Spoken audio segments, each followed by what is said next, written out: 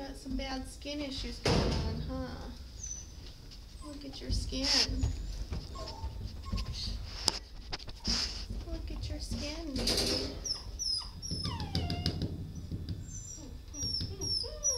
Got some issues.